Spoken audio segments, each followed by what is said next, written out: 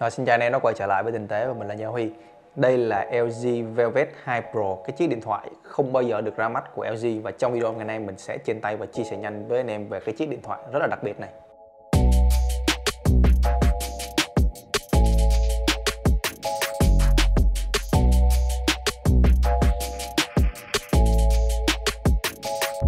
Rồi và đây là tất cả những phụ kiện mà mình lấy ra ở trong hộp của chiếc LG Velvet 2 Pro này. Thì chúng ta sẽ có hai cái ốp lưng à, nhựa dẻo. Thì mình không biết là có sự nhầm lẫn gì hay không mà chúng ta có hai cái ốp lưng như thế này và một cái sợi cáp USB A ra USB C. Đó chúng ta sẽ không có sạc mà cái bên cho mình mượn họ có đưa thêm cho mình một số những cái phụ kiện khác của cái chiếc LG Velvet 2 Pro này. Thì bao gồm là chúng ta sẽ có một cái adapter sạc USB-C nè công suất là À, 25W rồi chúng ta sẽ có thêm một cái tai nghe USB-C thì cái tai nghe này mình thấy là được bọc cái lớp vải khá là đẹp mà mình nghĩ là nó sẽ dơ thôi. Rồi chúng ta sẽ có một cái adapter chuyển từ à, uh, USB-C sang à, uh, 3.5 và một số cái e tip cũng như là một cái sợi cáp hai đầu USB-C khác. Đó thì đây là tất cả những cái phụ kiện mà mình nhận được cùng với cái chiếc LG Velvet 2 Pro này. Bây giờ mình sẽ bỏ hết đống này qua bên và chia sẻ với anh em về cái chiếc máy. Thì đây là LG Velvet 2 Pro. À, thực sự là cái phút đầu tiên mà mình cầm chiếc máy lên á, thì mình thấy một cái sự đáng tiếc.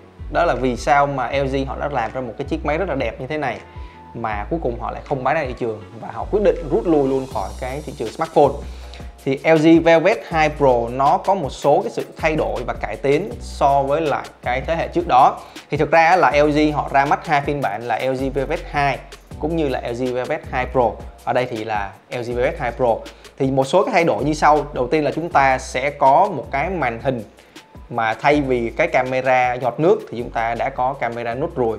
Và cái viền trên dưới anh em thấy là nó đã mỏng hơn cái thế hệ đầu tiên khá là nhiều. Từ đó sẽ cho chúng ta một cái màn hình nó chạm viền hơn. Và cái điểm thay đổi tiếp theo trên LG Velvet 2 Pro này, so với thế hệ trước, đó chính là những cái à, phím vật lý như là tăng giảm âm lượng hay là khóa mở màn hình thì đã được LG lược bỏ đi và thay vào đó là những cái phím cảm ứng lực. Và nó sẽ cho chúng ta một cái à, phản hồi xúc giác khá là lạ. Nhưng mà LG họ vẫn giữ lại một cái nút nguồn ở phía trên này là một cái phím vật lý để chúng ta uh, trong cái trường hợp như là chúng ta cần reset lại máy hay là chúng ta cần vào bootloader thì chúng ta sẽ có một cái phím vật lý nó sẽ dễ dàng hơn. Và mình đánh giá là cái phím cảm ứng lực trên cái chiếc LG Velvet 2 Pro này nó cho cái phản hồi xúc giác khá là nhanh nhạy và chính xác. Mình chưa tìm thấy cái ờ, phần mà chúng ta điều chỉnh cái mức độ cảm ứng lực trên cái chiếc máy này. Thì có thể đây là một cái chiếc máy ờ, sample hay là gì đó. Mình không thấy cái phần đó trong cài đặt. Cái chiếc máy mình đang có trên tay đây thì nó sẽ có một cái màu vàng hồng, rất là đẹp, rất là sang trọng, cầm vào và mình đánh giá cái chất lượng hoàn thiện của LG với cái chiếc máy này rất là cao. Tất cả mọi cái khung viền cho đến cái phần tiếp giáp giữa cái màn hình và cái phần khung nhôm thì nó cũng rất là liền lạc và nó không có cái gợn gì cả à, anh em thấy là xung quanh à, phần khung cũng như là cái phần màn hình đã được LG à, dán lại một cái miếng dán màn hình cũng như là xung quanh này. Thì cái bên mà cho mình mượn đó họ yêu cầu là không có gỡ ra. Cho nên là nếu mà anh em thấy thì đây không phải là cái điểm trừ trên thiết kế của nó mà chỉ là một cái miếng dán thôi. À, nếu mình là chủ nhân của chiếc máy này thì ngay lập tức mình sẽ lột hết cái lớp giấy ra thôi và cái chiếc máy nó sẽ đẹp và sexy hơn rất là nhiều.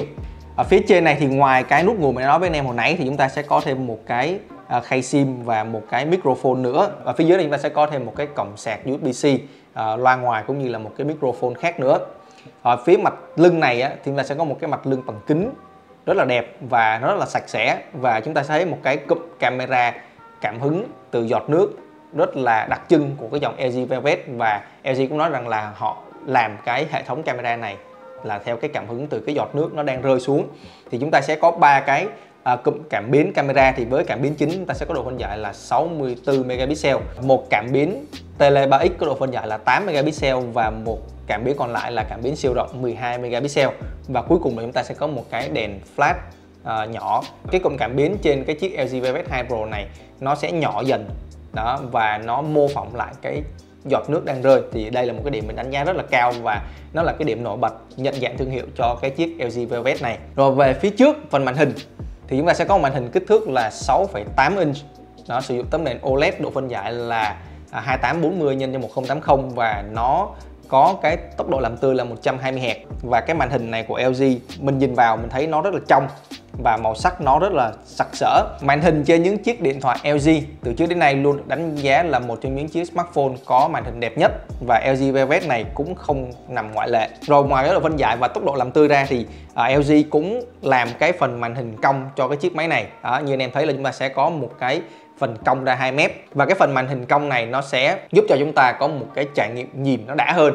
Đó, nhưng mà mình cũng không tìm thấy những cái tính năng uh, màn hình cong trên cái chiếc LG à, Velvet 2 Pro này thì không biết là do cái phần mềm hay sao đó. Về nhìn chung, về thiết kế cũng như là cảm giác cầm nắm thì cái chiếc máy này nó cho mình cái cảm giác cầm nắm khá là thoải mái, không có quá cứng tay.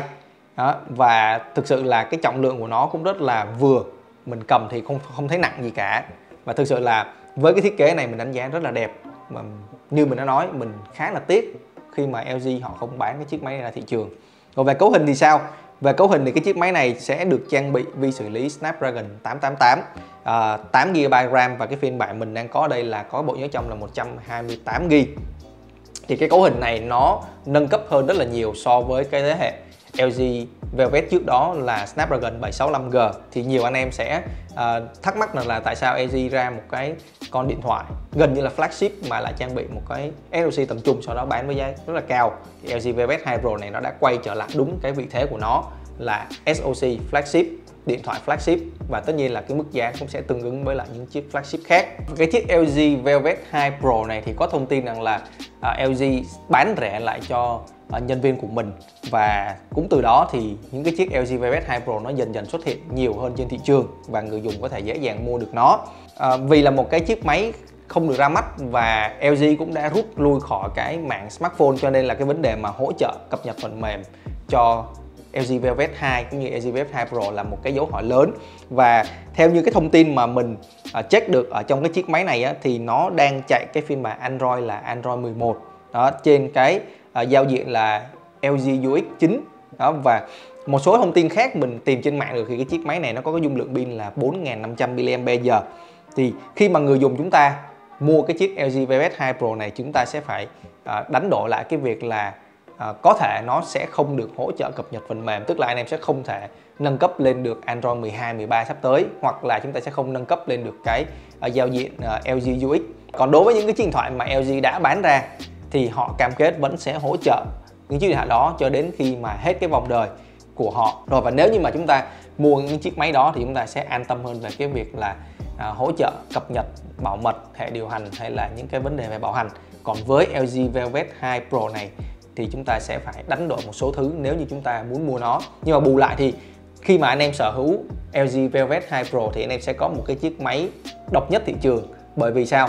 Bởi vì cái chiếc máy này không được LG bán ra và nó là giống như là một cái uh, dấu mốc lịch sử cho ờ, uh, LG khi mà nó là cái chiếc điện thoại cuối cùng đánh dấu cái việc mà LG rút lui khỏi thị trường smartphone và trong một cái thời gian dài sau đó nữa thì cái chiếc máy này sẽ trở nên là một cái thiết bị rất là giá trị.